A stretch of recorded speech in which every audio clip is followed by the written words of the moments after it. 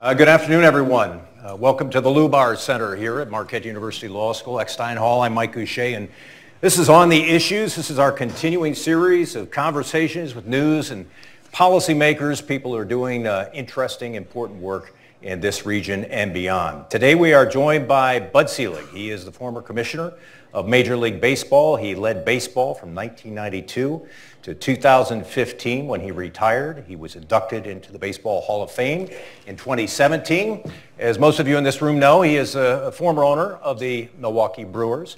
He is also a, lecturer here at Marquette University Law School, and I'm delighted to see so many of our students uh, here today with us who are interested in the sports law program.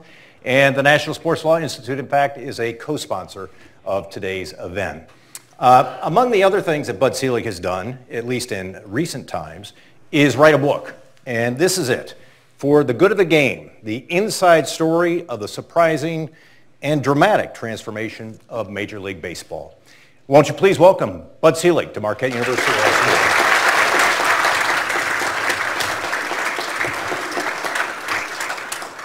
Great to have you with us. And you'll, you'll be back teaching again this, uh, this yeah, fall. Yeah, my first appearance here will be September 11th, and it is nice to be here.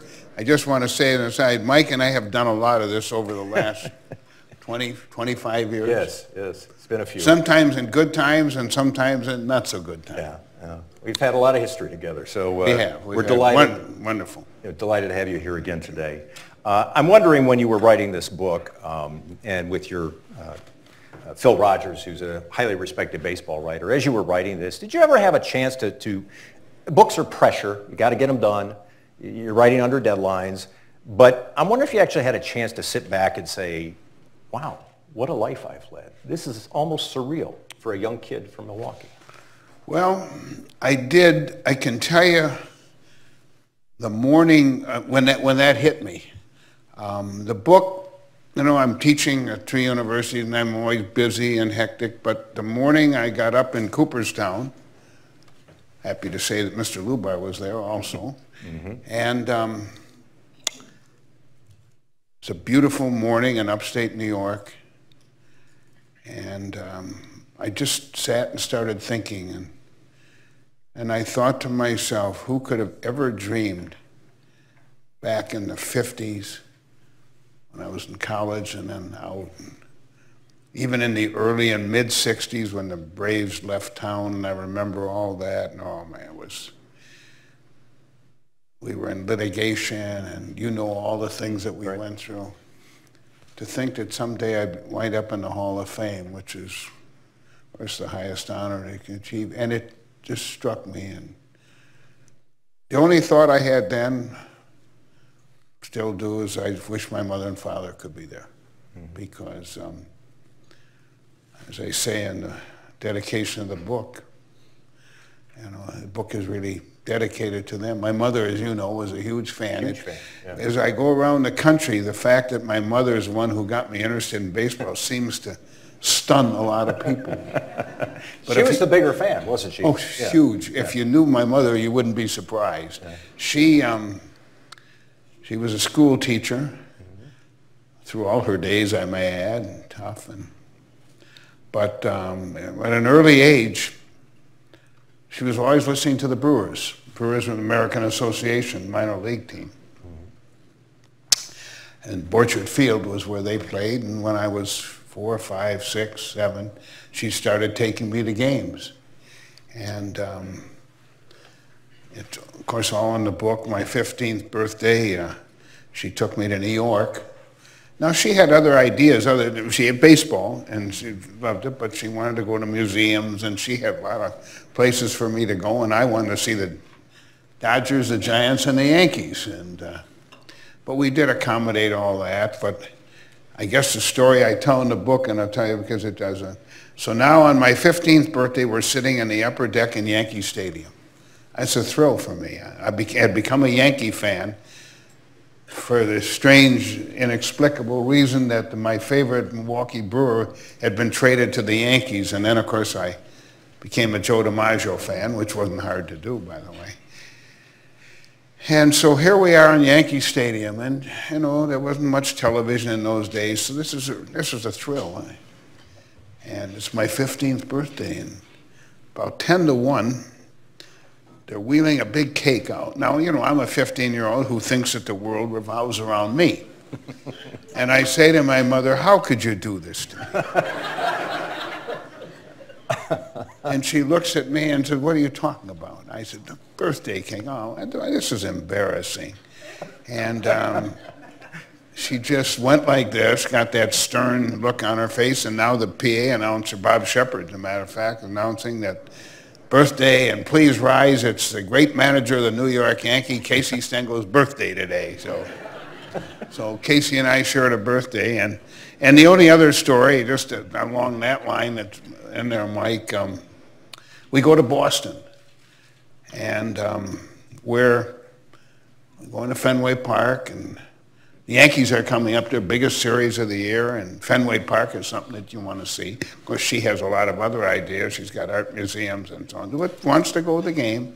We come up to the ticket window. I'll never forget it. And a typical Bostonian says, bang, he brings the window down. He says, sold out. We have no tickets left. And my mother says, you can't do that. I brought my boy here from Milwaukee. Well, this guy didn't give a damn where the hell we were from.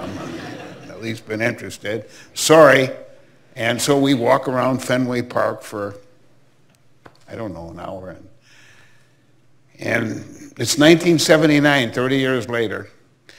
The Brewers are having a big year, George Bamberger's second year. We won 95 games that year, but we were going to Boston. My mother said to me, buddy, I think I'd like to go. Fine, glad to have you. So she goes. And um, we get there, and our traveling secretary takes her down to a seat right next to the dugout in the first row. And I went to the clubhouse, came back, and I get back, and she looks again in her stern way and says, huh, it's a little different than it was 30 years ago, isn't it? And I said, yeah, it is. It was a little different. Yeah. I got to ask you about the way you started this book. The book begins with Barry Bonds' chasing of the, the home run record. It's 2007 you're traveling around the country to be there mm-hmm. when the record is broken. And you describe yourself in the first chapter of the book as being absolutely miserable. People who knew you knew you were miserable. A, why were you miserable? And B, um, why, why did you feel the way you did about Bonds? Well, um, and we started that way. Actually, it was Phil Rogers' idea. I have to give him credit, but he was right. The world knew how I felt mistakenly, um, I think, because they knew, as you know in the book, my very, very close personal relationship with Henry Aaron mm-hmm. to this day. And um, people said, well, he feels badly because he's going to break Aaron's record, who of course broke Babe Ruth's record. And he does that because of his relationship. Well, it wasn't, that wasn't true at all. In fact, this was 10 days following Barry around. And I guess I'd have to say to you that there were people on the Bataan Death March that had a better time than I had in that 10 days. And, um,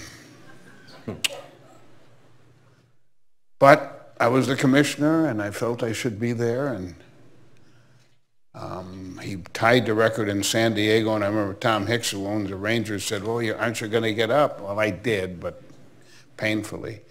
The nicest part was uh, Henry sensed how I felt, and he called me every morning. It was really remarkable, wherever I was. Are you doing okay? I am. I'm doing fine. And uh, he never said any more. Just we, we would talk about baseball, or he'd make conversation, or I'd make conversation.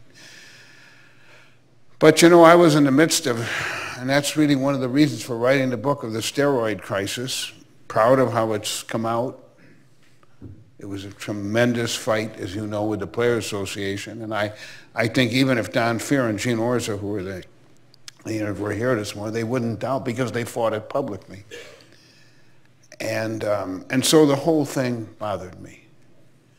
Um, um, I have a great belief in baseball as a social institution. I have a great belief in the responsibility of baseball and its players to, as I say, do the right thing because you'll hear the social institution theory of mine maybe many times today.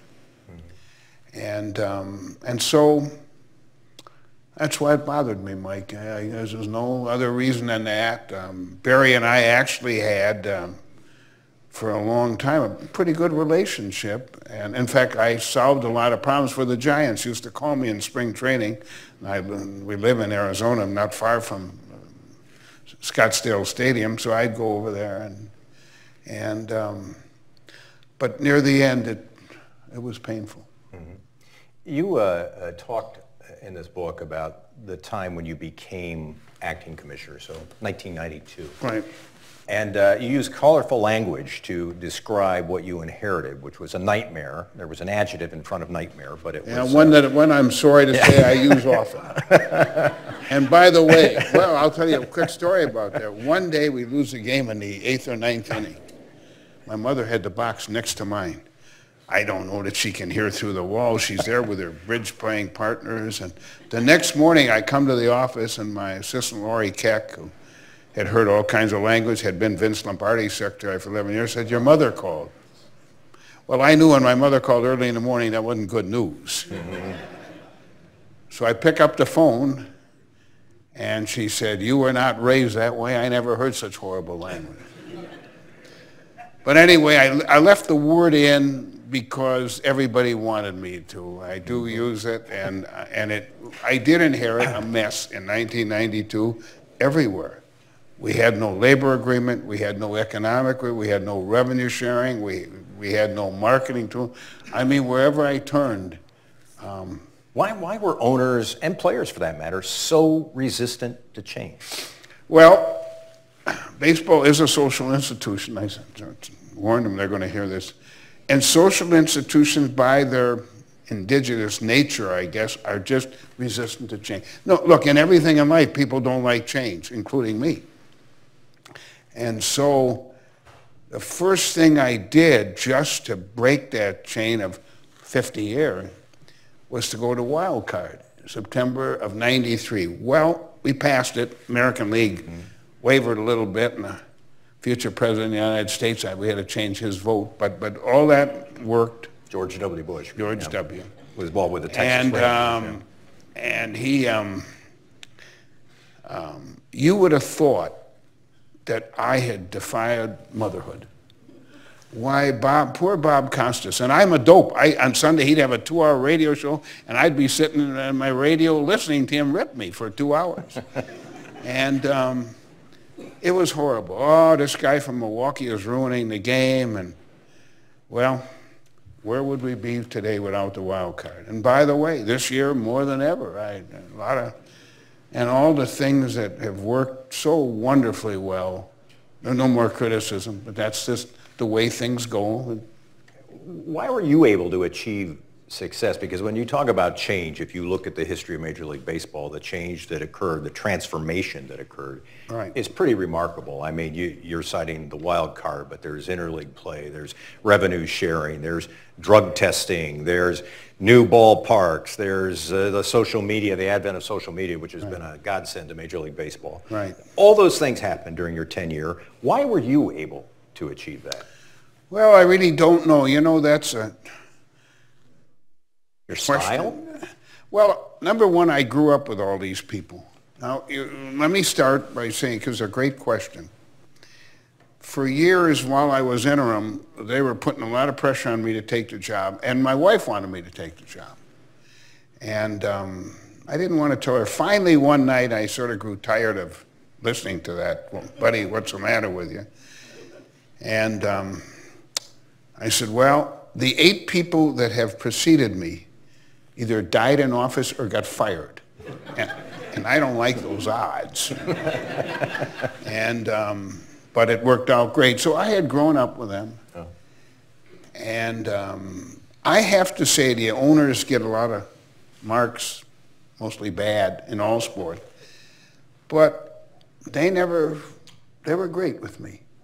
And um, I spent endless hours, Mike, every day because I knew that my job, and I think the job of any CEO, is to get people to do things and to cooperate and to do what's in the best interest of the institution. And therefore, I had seen in my years in baseball, most successful people in America, some of them, who'd come to meeting, didn't know what the meeting was about, didn't care, and the commissioners were I, I could give you, a, and I liked all of them. I mean, I really did. I liked all of them. But there were things that I learned. And one thing I realized in 1992 and until the day I left there is my job was to make sure that we do what's in for the good of the game, in the best interest. And so when we come to a meeting, and we can tell the story about BAM, I think, at some point, which is really, mm-hmm. um, really illustrative of that point. I didn't want anybody not to be feel part of it, and so they understood. And it caused me to spend endless hours every day with people. But the owners in the end were great. You know, even on the steroid thing, which aggravates me to this day. Well, the owners were slow to react. No, they weren't. They were great. They wanted a steroid policy. Not one owner ever said to me, don't do it. And when it came to revenue sharing, certainly the thing I'm proudest of, and I think the reason that baseball is doing as well as it's doing, um, yes, there were big market clubs that were not happy. And there were a couple of them that, you know, threw roadblocks up and this thing. But in the end, painful, moved slowly, but in the end, they did. And that's why I came for the good of the game. What would have happened, Commissioner, if, if you had not done revenue sharing? You talk about this in the book. What would have happened? Well, it's interesting. I was thinking about that this morning. David Glass, who was chairman of Walmart, bought the Royals. Wonderful man and Kansas City is a market much like Milwaukee, said to me, I guess about 98 or 99, 2000, Commissioner, if you hadn't done this, 10 or 12 of us would have been out of business by now. And that would have included the Milwaukee Brewers because we couldn't go on. I had, I appointed a, a blue ribbon committee, Mike, in 98. Paul Volcker, mm-hmm. Um, George uh, Will, George Mitchell, and uh, Rick Levin, the president of Yale, who was an accomplished, brilliant economist. And um, to do things I knew already existed, but I, and uh, they were very independent, very aggressive. Into the second meeting, Paul Volcker knocked on my door in New York and said, we'd like to see you. Yes, sir, happy to see you guys. And I've been friends with all four of them, but this was a different type of thing. I walked in the room and Mr. Volcker, remember, big, tall guy, smoking a cigar. In those days, you could still smoke in the building, and he was smoking a cigar. Said, you got 25 teams that can't win under any circumstance. I knew that already. And um, David Glass is right. So um, there's no question revenue sharing took a long time, a lot of pain, went through a lot. But you know, when I went to Kansas City, in 14 and 15, and they were in the World Series. Won one of them, lost to the Giants in the other. And the people in Kansas City were wonderful, as they always are here. And that, all they did is thank me. And that really meant a lot to me because without what we did, they wouldn't have been there. And, and so um, there was a period from 98 through about 2003 where, man, it was, we had no revenue sharing. I inherited a, a system like not a nickel. And given the modern sports today, you can't have a league where you have Pittsburgh and Cincinnati and, and St. Louis and Kansas City and Milwaukee and on and on and on, and then you have New York and Boston. That just doesn't work and won't work. Because the job of a commissioner, or the job maybe of any CEO, is to provide hope and faith that was my key at every meeting. We're here to provide hope and faith to as many people as possible. And, um, and so those were the two words that owners heard at every meeting. Probably got tired of it, but it didn't matter. They're going to hear it anyway. But, and it's true. So on March 28th, when they open the season, which is too early, but that's a whole other story, um, your, your job is to provide as much hope and faith in as many places as possible. Not that they can win the pennant, but that they can be competitive. And that's the objective. You said at the beginning of this program that you and I have known each other for a while, and, and, uh, and so some of this book, uh, parts of it seem familiar, kind of lived through some of the same experiences that you lived through. Uh, but there were a couple of things in here that to me were complete surprises, and I want to ask you about them.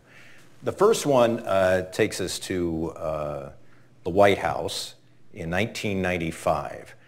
And baseball uh, is in the midst of a pretty ugly strike. Yep. Uh, not, not, pretty, very. Very ugly strike. Uh, no World Series in 94.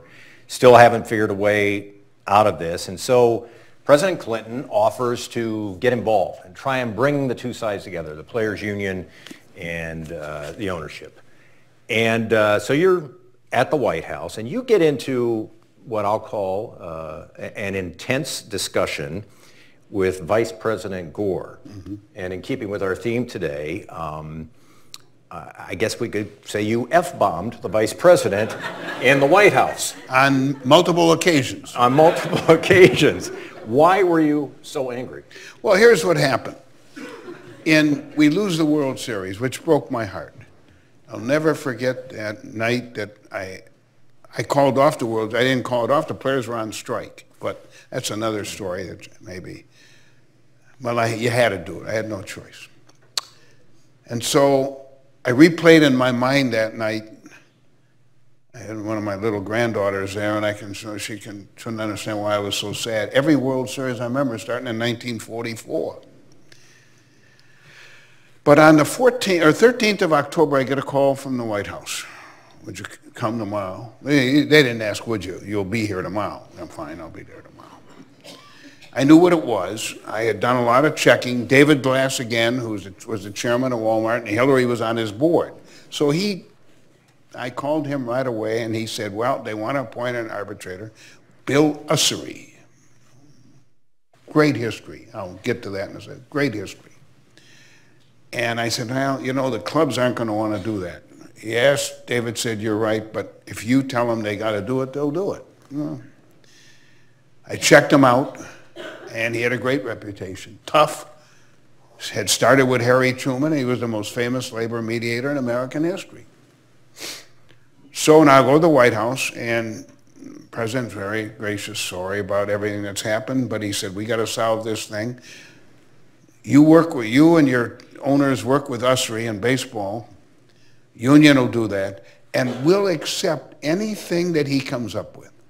Well, when the President of the United States asks you to do that, and again, I hate to bore you, but we are a social institution, and that's our responsibility.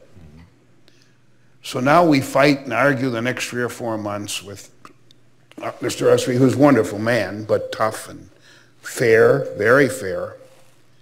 And uh, in early February, I get a call. I had a committee of 12 people in labor, and my daughter was one of them, and she and uh, Andy MacPhail who at that time was with the tw twins, both called together and said, you better get here. There's a rumor that he might be coming out with something. I get to Washington right away. Sure enough, 7 o'clock the next morning, Bill Usery calls. Well, what, um, he says, can you meet me for breakfast? Are you kidding? Yeah, when, uh, where and when? Well, downstairs. Oh, get ready, get down. Gives me his plan. It's not great by any stretch of the imagination, but better than I thought he would do. And obviously, he's a man trying to be fair. So he says, you'll hear from me shortly. I said, look, Bill, much as we've argued and fought, and I really liked him a lot personally, we gave the president our word, the baseball, gave a word that they'd accept what you come up with. Okay. Now he goes to see the union. Now we don't hear. Well, It's 10 o'clock, 11 o'clock, 12 o'clock. I have my whole committee there, and I'm saying the committee, especially Jerry Reinsdorf and John, Johnny Harrington of the Boston Red Sox, who are with me, we got troubles here, guys. Something wrong. Five o'clock, we call every senator we know and friends, and nobody's heard a word. Senator Mitchell, who, who was gone by that time, I'm particularly close, and it was very close to Leon Panetta, who was the chief of staff. And so he, George called Leon, but he couldn't get anything out of him. We get to the White House at 7. And there's the union and um, a lot of players. I've got three or four owners. And uh, president is there, vice president is there, George Stephanopoulos is there, Robert Reich, the labor secretary, little guy. Don't, didn't like him then, don't like him today. and um, Leon Panetta, whom I like a lot to this day. And um, there's just a lot of noise, not, nothing, I can't figure out what's happening. I see, I look at Usery. That's my key. Usery looks. So now we take a break after about a half hour. Now remember, we both had given our word we're going to accept what he said. So I'm just walking in the hallway stunned, trying to figure out how I'm going to explain to 30 owners who didn't want to do this, especially George Steinbrenner, how you got uh, screwed by the President of the United States. And there's Bill Usery. Wonderful history. He looks at me. He's as close to me as Mr. Lubar is here. Harry S. Truman didn't do this to me. Dwight David Eisenhower didn't do this to me. John F. Kennedy didn't do it to me. Lyndon Baines Johnson didn't do it to me. He says, even that son of a bitch Richard Nixon didn't do this to me. And he goes right up the line. What are you talking about? And he has an economist with him, Herb Fishgold, brilliant guy, brilliant guy. And I can see they're both crushed. Now I realize what's happened. So now Leon Panetta comes and says, I just talked to our friend George. He sends his regards. And, yeah, great. That's wonderful. But he said, the president would like to see you. And I, now I'm on a couch with the president. And he says, well, look, you know, now I've heard what's happened because one of my guys has picked it up that he went back to the Union and Gene Orza, who's second in command. And if you read the book, you know that Gene and I don't like one another, and that's a mild understatement. And um, Gene Count called him a senile bastard and rejected it. Now remember, we had an agreement. And the president's talking to me, and I'm thinking to myself, what am I going to do here? Could, I always remember, Mike, I'm sitting on the couch thinking, I wish my mother and dad were here. They could see on here I'm sitting talking to the President of the United States.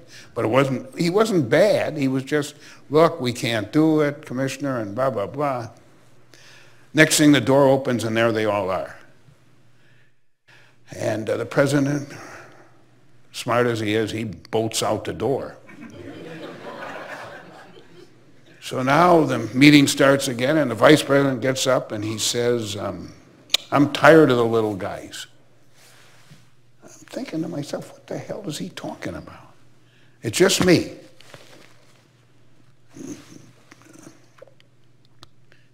um, he says, little guys have caused trouble. So he spent the day with the union. Now he's talking about the small markets. What? And this goes on for a couple minutes. Bob Reich is standing, nodding his agreement, which made me madder, of course. And if you weren't all here and I could use the language I use, I would tell you what I think of him. And finally, after this and that, and it can't. Now there's about a thousand media people outdoors, huge coverage. And I listen, and he, he's nasty. And I'm thinking to myself, we made an agreement. If we came in here and busted that agreement, they'd kill us. It's an old line about that I use in the book over baseball is always held to a higher standard, which is a comp great compliment, but tough when you're the commissioner. And when he starts, I'm tired of you, of the little guys that you represent, he says to me, and that's when I exploded. And um, later on, Leon Panetta told George Mitchell, who told me at 3 o'clock that morning, that's the greatest temper tantrum I've ever seen. well, I didn't mean for it to be, but I, I want to repeat. When you give somebody your word, that's it. And they took the greatest labor mediator in American history and did that to him and to us. And it caused us years of heartache. And so um, I finally did say to him, dropping multiple F-bombs, I'm going out and tell the press, F press, how you, what you have done here today, and then you explain. And by the way, I want you to go to Milwaukee, Pittsburgh, St. Louis, Kansas City, Cincinnati, and tell them that they don't deserve a Major League Baseball team. Now go blank yourself. and not surprisingly, the meeting ended quickly. And um, so that's the story. And, and I didn't go out and do that because we had to keep, and it led to a lot of heartache, a lot of heartache. And that's what David Glasser. Baseball went through a tough period, which is the title of the book. So. Yeah. Um, Just to be clear, you were not a contributor to the Al Gore for President campaign in, uh, in 2000. I just, that would be a fair that statement. Be a fair statement. Okay. So the other, the other thing that I did not know, and this is uh, for people who are from Milwaukee, you may have some uh, familiarity with this, this story, but, but there are parts of it that I had never heard before, and I would appreciate you sharing with us today. So back in the early 80s, one of the best players on the Milwaukee Brewers was Paul Molitor. He's now in the Hall of Fame, tremendous player. Uh, he came clean as, as time passed. I remember interviewing him, and he talked about his problem with cocaine which is a, a problem in baseball and in society at that time. And he said, I could have been in prison, I could have been dead.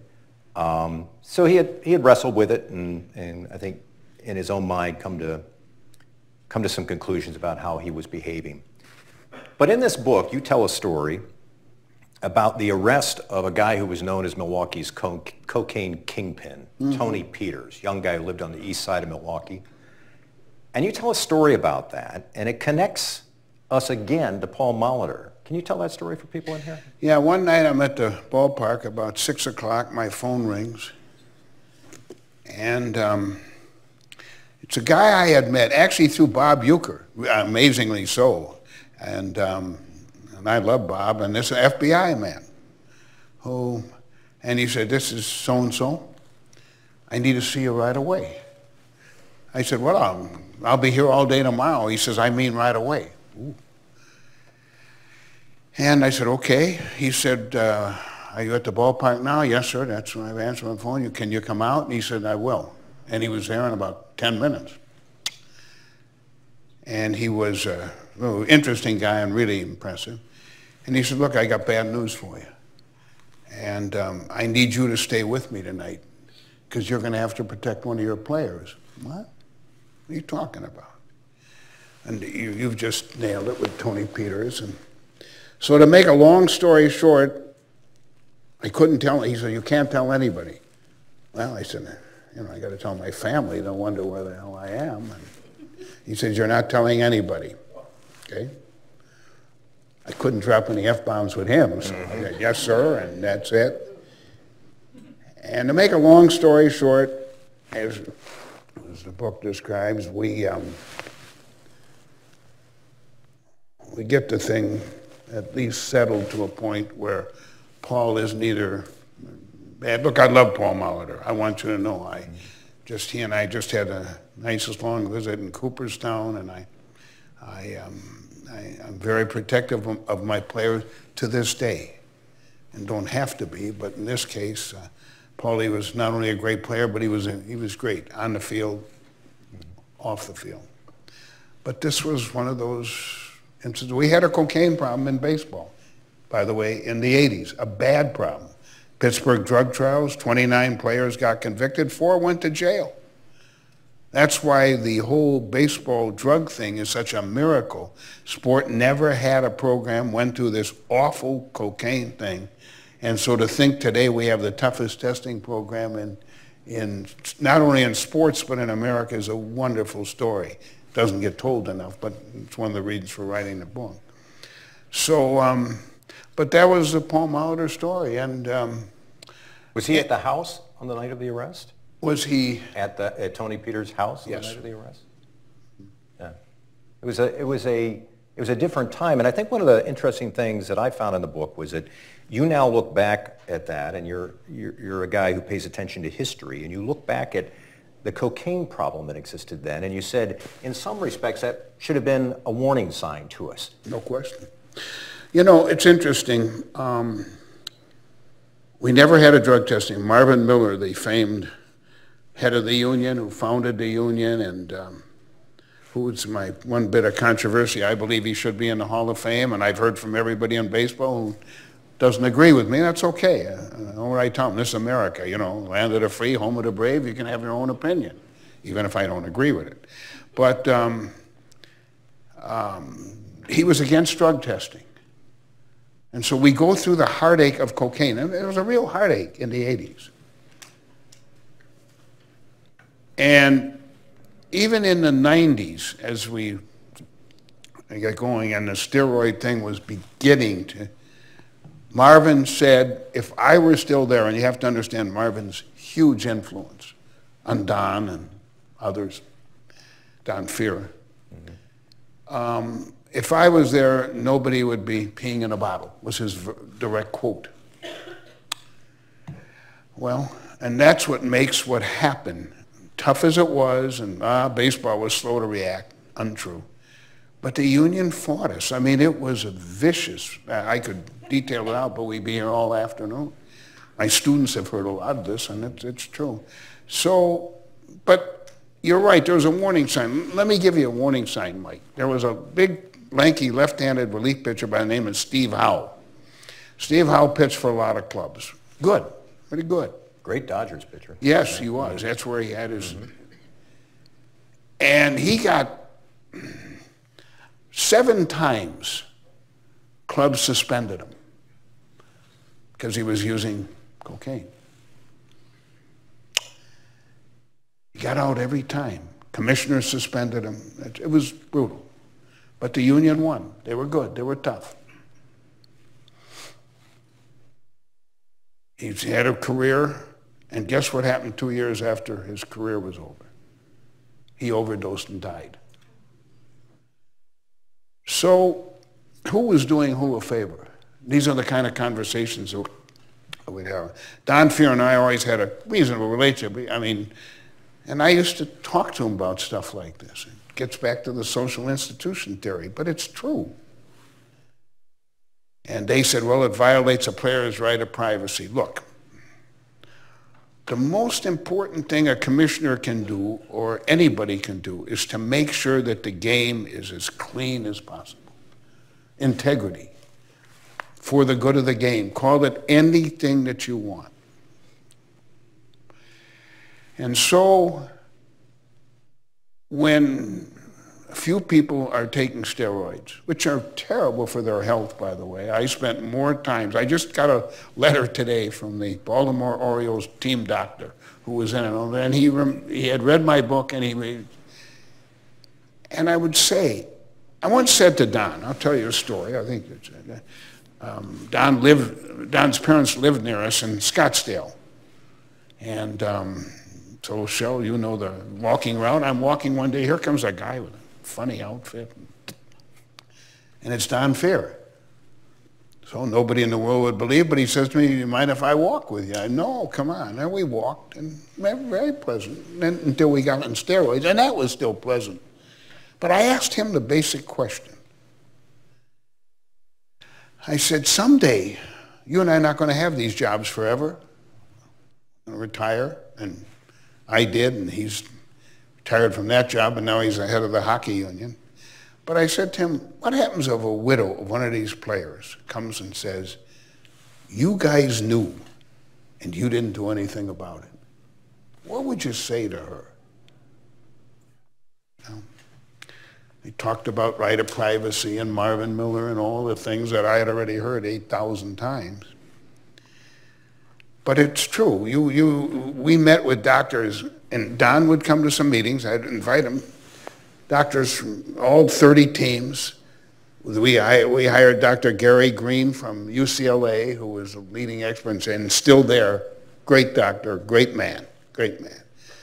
And you talked about liver cancer and all the things that steroids could do. And I, I said to him at the time, look, this is terrible, but it's terrible for the players. And then there's a story that came up in one of my congressional, early congressional hearings, which was a disaster because of them, really. But, uh, but the first two, the first two witnesses was a man named Don Hooton and a man named Bob Garibaldi whose sons had committed suicide because of steroids. They were both baseball players. And I was there early in the morning. I didn't realize what a terrible day it would be. It started out terrible and got worse. But I was so stunned listening to them. I was appalled. Oh my God. And don't let any athlete ever tell you, they're role models. Whether Charles Barkley believes it or not is irrelevant. And I called Mr. Hooton the next morning. Got his number, called him. He didn't want to believe it was me. And uh, he said, ah, who's playing a joke on me? I said, well, I don't know. Anyway, he called me back. I had him call me back. And we made a deal that exists to this day. He does hoot and chalk talks in every inner city and every major league city, all on steroids. We're the only one doing it now, but good. I, I, and he's been wonderful. But it was a tough, that's why I really wrote the book because of the steroid thing is seemingly so misunderstood. And I hope it isn't after this, at least my side of it isn't, and our, our side of it isn't. But it was it was painful, but in the end, if you're the hitter, and Mr. Lubar is the pitcher, he's got a good fastball, by the way, and um, he's taking steroids and you're not, that's, that affects the integrity of the sport. On that point, do you think there will come a time as the years march on where baseball will begin to induct people into the Hall of Fame who posted numbers that were just completely out of character for other parts of their career and who are suspected at the very least of having used steroids? Well, there are some people in already who some people suspect. I, am going to leave that one to the writers. It's a complicated issue. Um, I've never, I, I, know, you know, you have the Barry Bonds, Roger Clemens scenario. Um, they got three more years to go, and then whether any committee ever puts them in the Hall of Fame is another story. But, you know, that whole issue, I spent so many sleepless nights in this. I'll tell you a story. After this hearing, I was at the Hall of Fame because commissioners have dinner with the Hall of Famers alone. And that year, 05, they were angry. There were a lot of old timer, Bob Feller, George Kell. I mean, guy, and they were really angry. And then ang angry with me. They were tough on me. Reggie Jackson. And um, when I left there that night, I really, I could see how much it had impacted them. They loved the game. They were the greatest stars that Sandy Koufax, I mean, it was incredible. So I said to myself, coming home to Milwaukee that night,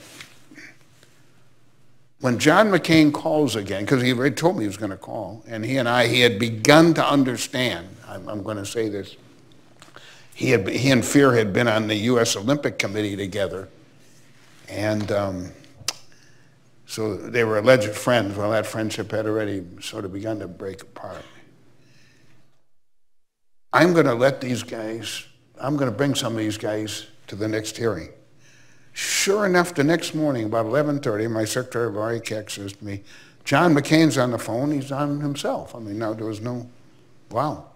So we talked for a minute, and, and uh, he, of course, he knew I was in Phoenix a lot, so we, we would see each other. And he said, I want, I want to have a hearing in two weeks. I'm, this is awful, and blah, blah, blah. And he, I know, I agree with you. I, I think I know you do. I said, I have an idea, Senator. I said, I, I tell him, as I just told you, where I was and what I heard. And I said, I'd like to bring five or six of these people. I'd like to bring one from each generation.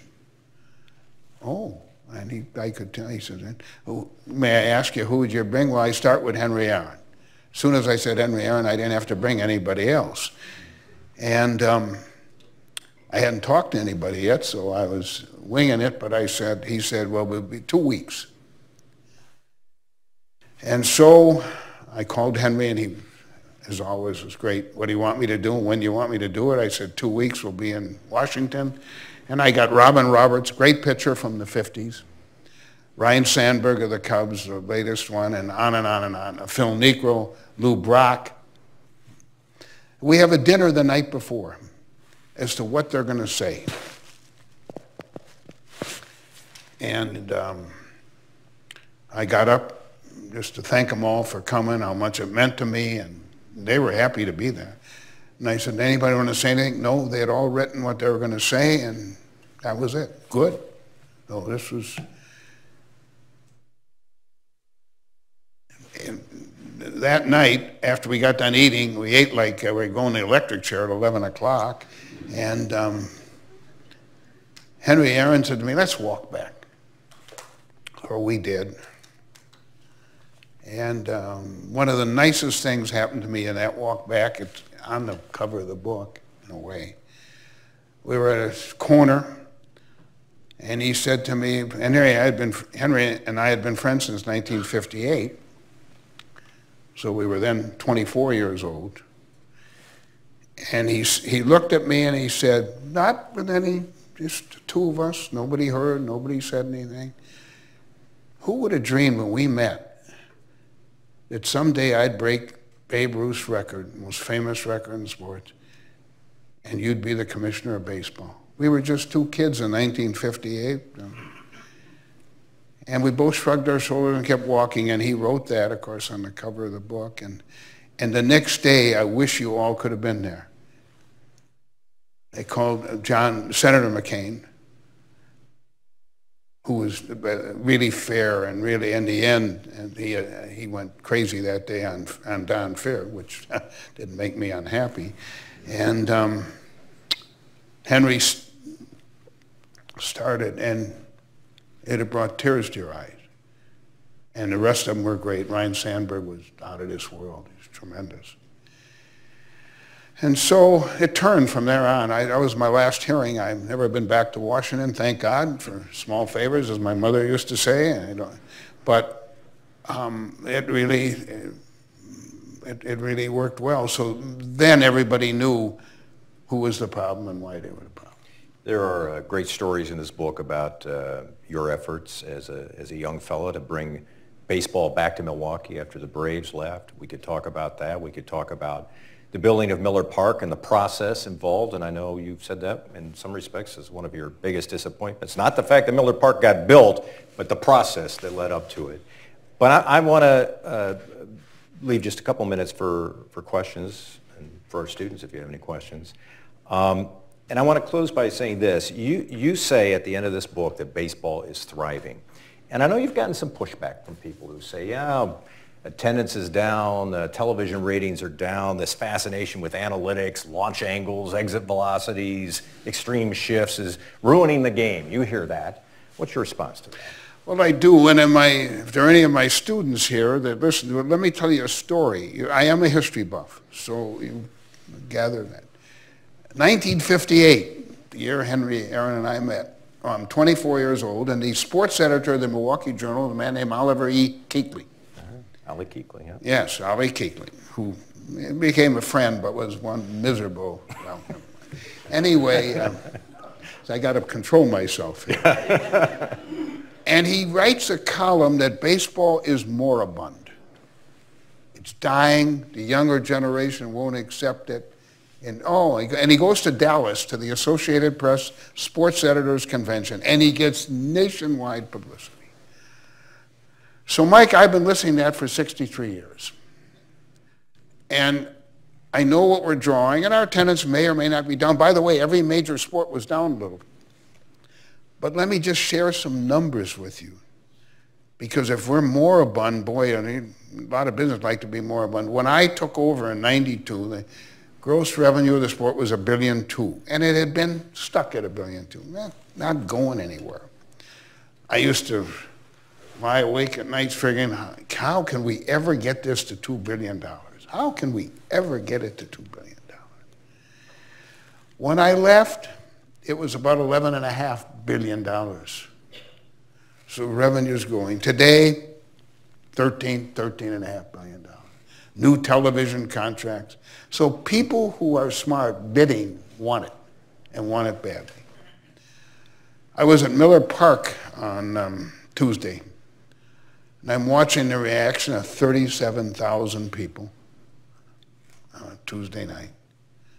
Here you are in a market of a million four. They're going to draw close to 3 million people this year.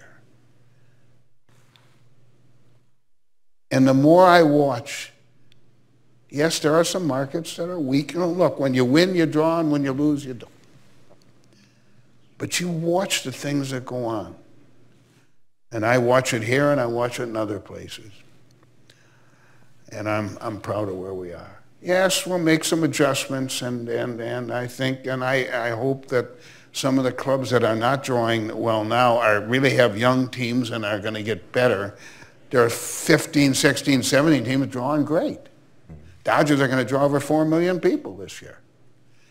But think about Milwaukee the best the Braves ever did was 2-3, and that was a miracle.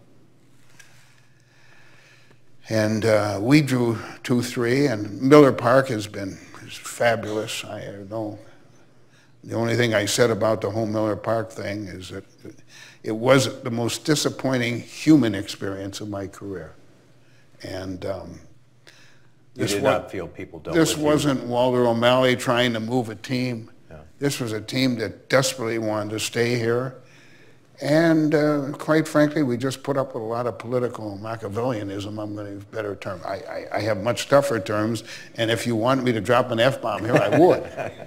but uh, we'll try not to do that. But, um, but and it got built,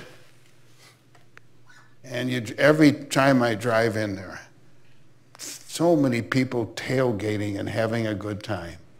And I'll, I'll t- one final story about that line. Bob Harlan, the president of the Packers for many years, was and is to this day one of my closest friends. I was on the, I am on the board of the Packers. But after we got done with the Miller Park, really tough experience. Oh, tough, particularly tough on my daughter. Um, I thought Green Bay would be easy, and I said to Bob, Bob and I talk a lot, and I said, "You're." Well, it turned out, Lambeau Field turned out to be as tough as Miller Park. Mm-hmm. And one night he called, and I heard uh, he called, and I, my wife said, oh, he's right here, don't worry, and hi, Bob. Buddy, he said, why does this have to get so personal? And they were accusing Bob and his wife Madeline of some real estate deal. And He was going door to door. And by the way, he won with just a little over 50% of the vote. Think about it. So what I said to him that fateful night, and he reminds me to this day, Bob, Milwaukee and Wisconsin someday will be better off because of Miller Park and Lambeau Field. We may not be here, but someday they'll thank us. Let me take a question or two from, uh, yeah. from the folks in the room. Uh, okay, I'm, I'm going to look for students first. And then don't be bashful, by the way. All right. Let's take, we just got time for a couple. We'll start over here. Yes, and speak into the, to the microphone You there. can do Thanks. more if you want. You can do more than. Okay. Excuse, hey there, Commissioner Seating. My name is Wilfredo Navarro. I'm a 2L. Um, recently, they just came out with a video, uh, uh, Netflix, about Screwball and Biogenesis. Do you have any regrets about the way you guys handled that situation? About Biogenesis? No, I'll tell you what happened. Rob Manfred, of course, is the commissioner now, and was my labor guy and did all that for did it beautifully, by the way. Hard, tough. So I complain about Fehr and Orza, but he, Rob was the guy that had to sit and deal with him. He called one day and said he had bad, we had been through all the stuff that I've already described. And he said, um, our people have found some stuff in Florida that you're going to be unhappy about. I said, look, we've had one simple view whoever deserves to be punished should be punished. Well, he said, let me get to the last line. It's one of, one of the Milwaukee players. I said, who is it? Ryan Braun. I said, well, I understand. Um, do what you have to do. And um, they had so much evidence and they had so many things. Our, one thing, the brilliance of our drug policy was it was, to this day, I mean, long after I'm gone, fairly administered. So uh, it is what it is, and uh, um, the only thing I was concerned about for the good of the game and what's in the best interest of baseball. The gentleman in the blue shirt, he's got a Brewers logo, so I guess you get, you get a chance to ask a question, yeah. You bet. With a Brewer logo, you can ask them all day long.